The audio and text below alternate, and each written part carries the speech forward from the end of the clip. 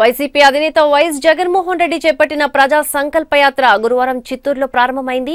ఉదయం తంబళ్ళపల్లిలో జగన్ పాదయాత్రను ప్రారంభించారు. జిల్లాలో తొలి రోజు ఏడు కిలోమీటర్లు నడిచిన జగన్ నలభై ఆరవ రోజు యాత్రను విజయవంతంగా ముగించారు. పెరమని పెరికేసే పిచ్చి మొక్క కాదిది. కణకణమని మండుతున్న అగ్ని పర్వతం వైసీపీ అధ్యక్షుడు జగన్ చేపట్టిన ప్రజా సంకల్ప యాత్ర నలభై ఆరవ రోజు ముగిసింది. అనంతపురం జిల్లా బలిజపల్లిలో ప్రారంభమైన పాదయాత్ర చిత్తూరు జిల్లాలోకి ప్రవేశించింది. తంబళ్ళపల్లి నియోజకవర్గం వైసీపీ పార్టీ సమన్వయకర్త పెద్దిరెడ్డి ద్వారకనాథ్ వైసీపీ నేతలు జగన్కు ఘన స్వాగతం పలికారు. తంబళ్ళపల్లి మండలం ఎద్దులవారి కోట నుంచి ప్రారంభమైన యాత్ర ఆర్ఎన్ తండా కొట్టాల మీదుగా వసంతపురం చేరుకుంది.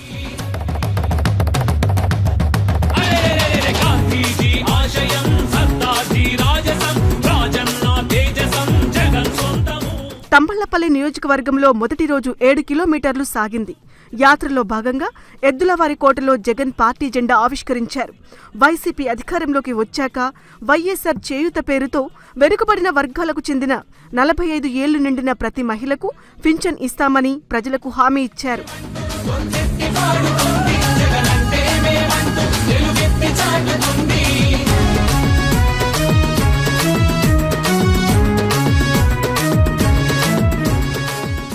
వసంతపురంలో పాదయాత్ర ముగించుకున్న జగన్ రేపు సీబీఐ కోర్టులో హాజరయ్యేందుకు హైదరాబాద్ బయలుదేరారు.